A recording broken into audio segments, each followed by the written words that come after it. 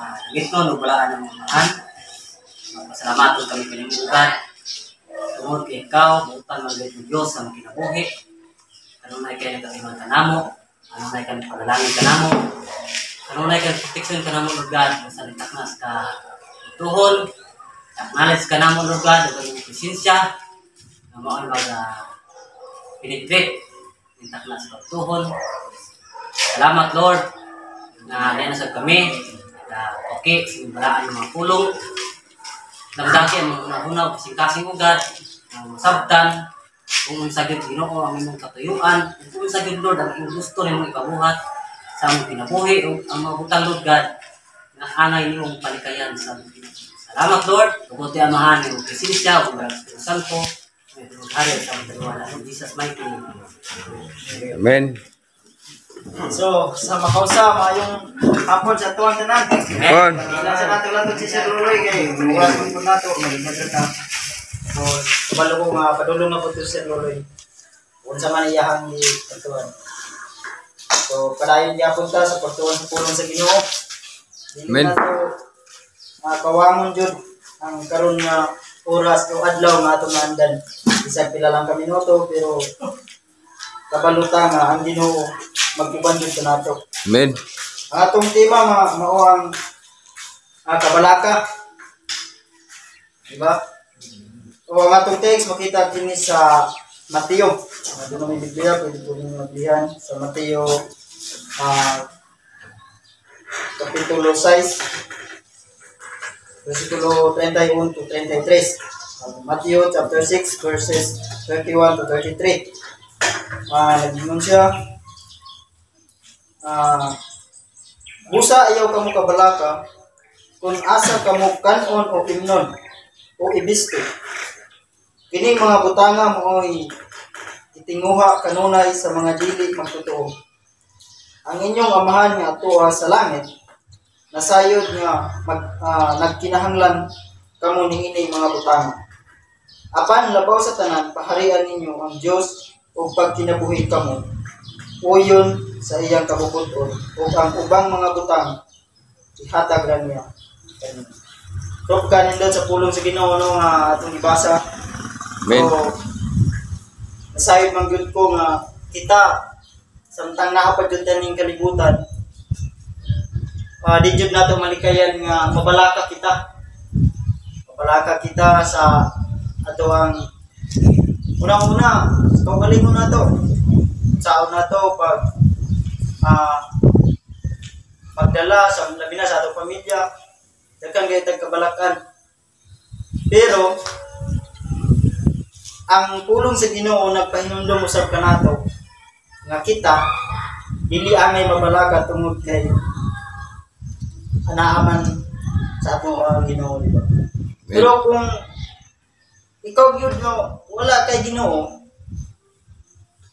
Dili jud mo wala sa imong una ang kabalaka di ba? Kay ang imong una ra ang maabot man. Ang karon usa kay ugma Mm. pero wa ka kabalo nga naay Ginoo.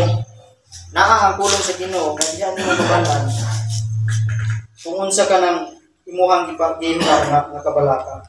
Ngun pa niya busa ayaw ka mo kabalaka kung asa ka mo kanon o inon o ibiste So kinanglan tural man jud nga mabalaka kita pero kung dili ta kung dili pa sa kung dili nga pulong ang god mo giikuan kini sa kanang dili pa Kristohanon nga na kinabuhi pa kas kalibutan nga walay wala nimo gi ah i-apply sa mong kinabuhi ang pulong nga padayon sa Ginoo sa ato So kinahanglan nga dili kita mabalaka gayud.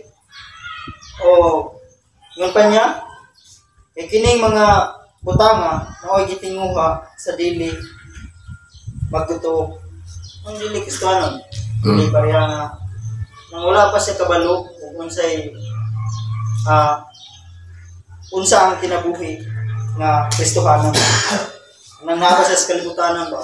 Wa pa siya kabalo kung unsay kuhan sa Ginoo wa sa nakabalo kun sa iyang buhaton wa sa kabalo nga ang Ginoo ana kanunay nga naga ah, paminaw sa iyaha, nagauban sa iyaha, nagabantay sa iyaha, tungod kay wa man sa kabalo. Pero kita nga nakabalo na, wala na kita yung may kabalakan. Tungod kay kung wala, Utang nato karon nabalaka ka sa una-una nimo ay wala ka na kay problema. Masao na ko ka. Pero mo kwan sa mong nauna nga uy murag naay mo giya nimo nga kini ayaw ka balaka dapat kini mong. Tungod Mm. kay ang Ginoo naaman sa to Amen. naga bantay siya sa tanan nato nga pagkabuhaton sa tanan nato nga mga plan ang Ginoo ana nagauban ka nato pero kung kita dili ko no mo musampit sa Ginoo dili nato isalig sa Ginoo ang atong mga kabalaka wala gihapon kay eh, sa imo haraman wala nimo gi tugyan sa Ginoo isubmit sa Ginoo sa imong plan Mm. So dapat dili gyud kita angayan nga mabalaka. Ah, ingon pa niya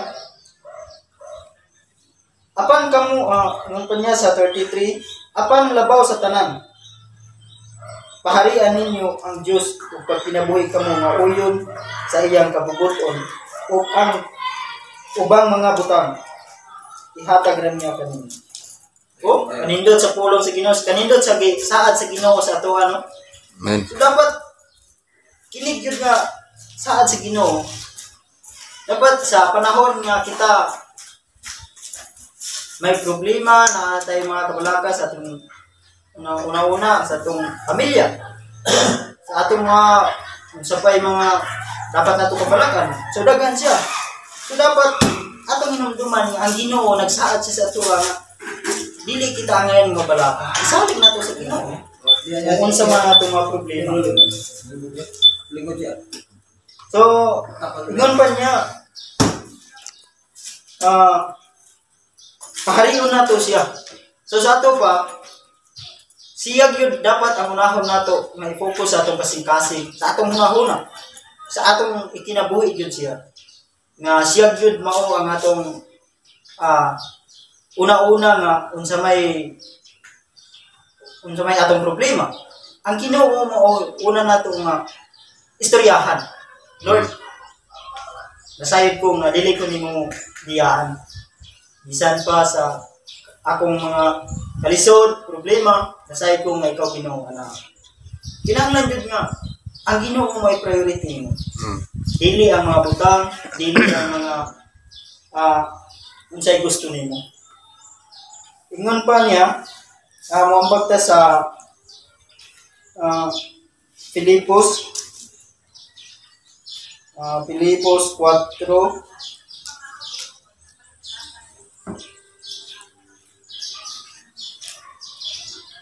Filipos 4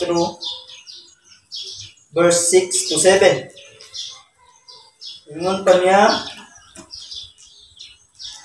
ah ayaw kamo kabalaka sa bisan unsa kundi pangayowa sa Dios ang inyong kinahanglan ang inyong gikinahanglan ug uban pang o uban ang pagpasalamat sa tanan ninyong pagampo.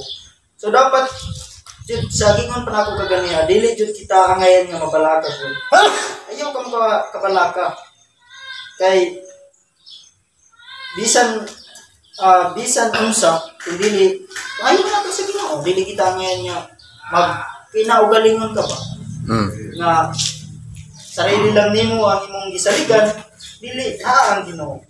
Ayaw ka mo kapalaka sa bisan unsa kun dili pangayua sa Dios so unsa may ato kinahanglan una-una ayaw lawas Sa tuwang sa tuwang Pilipos. Filipos 4 size 7 So kinahanglan jud dili kitang balaka kay mismo ang pulong na sa Ginoo nagingon sa tuwa. So ang buhaton nato ani, apply na lang nato sa atong kinabuhi.